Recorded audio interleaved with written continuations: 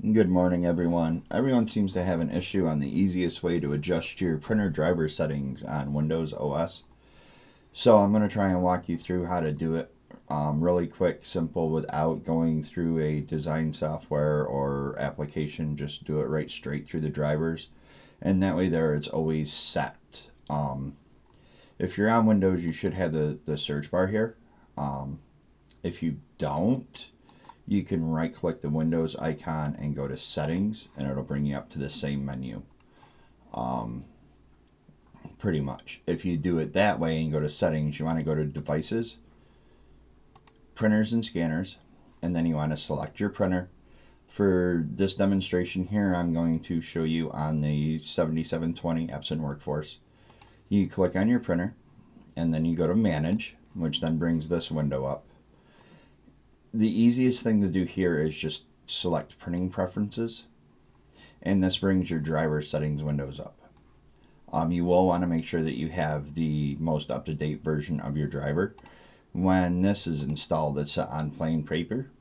For sublimation, um, what works best normally is premium presentation matte, quality, standard or high. Um, that's going to be something that you have to go through and figure out for yourself. They will give different results, and it also has to do with what paper you're using. Always make sure that this is set on color. A lot of people accidentally click this black grayscale, and then all your images come out black and white, and they don't know why. It's all here in this setting. Then you want to go up to more options.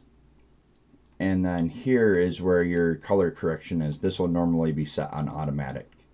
Um, here you go to custom and then click on advanced and then here you have different selections. The most common is ICM, um, or you can go to color controls.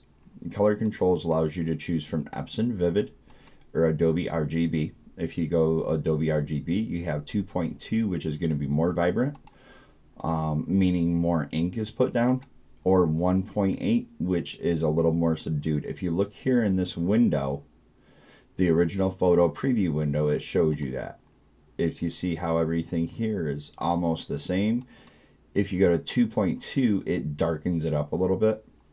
This is unfortunately something that you're going to have to play around with depending on your specific ink, your specific printer, and how you're designing it. Like I said, normally it's ICM, um, but you can go through and set it. My recommendation is to print out a color chart with each setting and see what's going to give you the most um, result that you want. Down here, you want to click off high speed unless you start getting what's called pizza roller marks. And then try clicking high speed again. It's how fast this how fast it goes through the system. The slower it goes through the system, the more that it can dry sometimes, depending on the amount of ink that you're putting down. If you click mirror image here, you will no longer have to mirror in your software, but it also means that if you do anything that you have to mirror, do you have, I mean, that you don't have to mirror, like if you're doing glass or anything, you come back in and you uncheck this. You can do add remove presets. We'll walk through that in another video. Um, me right now, I'm just using this standard as I do not have it set up for sublimation currently. So I'm going to set everything back to factory default basically. Click OK. Now your settings are set. Um, like I said, in the next video, we'll go through and we'll do presets. That helps out a lot with stuff. Let me know how you like the video. Let me know if there's anything else that you know. Thanks.